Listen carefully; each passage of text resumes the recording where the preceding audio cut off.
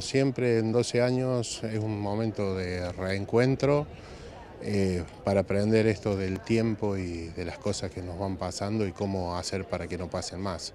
Eso siempre está vigente, estuvo vigente desde el primer momento y sigue vigente actualmente. Siempre cobra fuerza de, qué se puede hacer, qué podemos hacer, cómo podemos aprender y qué podemos aprender para que esto no, no ocurra nunca. ¿Ha avanzado la universidad en este sentido? ¿Quedan cuestiones pendientes? No, siempre hay una cuestión de diálogo. Hemos transitado distintos tiempos, distintos momentos, con distintos énfasis, con algunas veces un poco más de enojo, un poco más de tristeza, eh, eh, pero sí hemos avanzado en el diálogo. Siempre hay. Eh, lo que requeríamos del primer momento era que hubiese siempre diálogo, y en eso creo que lo estamos construyendo, hay que construirlo. ¿Y está bien el diálogo que están teniendo con la universidad en estas etapas? Y siempre hay etapas que van más allá de la universidad, que son las económicas y se, vuelven a mezclar algunas cosas.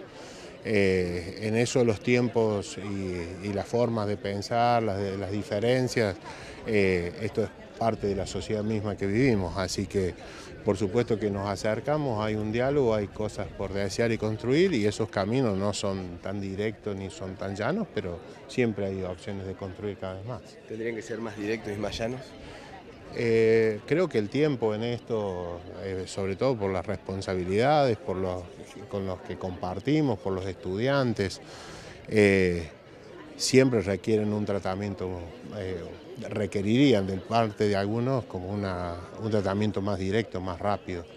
Eh, no obstante, sabemos que es una situación muy compleja y esa complejidad hay que ir abordándola día a día. Sin, lo importante es esto, sin, sin dejar espacios muy muertos entre medio. ¿Y la relación con la justicia que ha archivado la causa? Em, la justicia tiene sus tiempos, ya lo sabemos en los distintos casos. Em, eh, de esas cuestiones eh, hay empresas grandes que están montadas en esto, con sus llegadas, con sus, eh, sus vinculaciones y eso en algún momento lo que uno pretende como que avanzar a pleno, por ahí sabemos que también en estos juegos no son tantos. es lamentable, es triste y uno ha ido viendo en estos tiempos las cosas que pasan.